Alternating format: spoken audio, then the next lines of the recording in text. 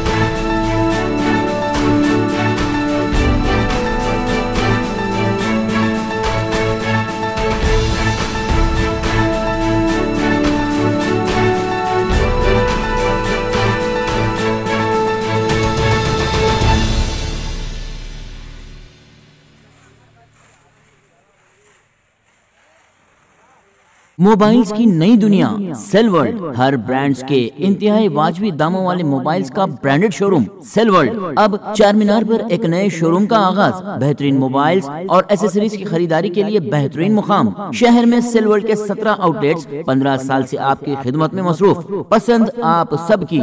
cell world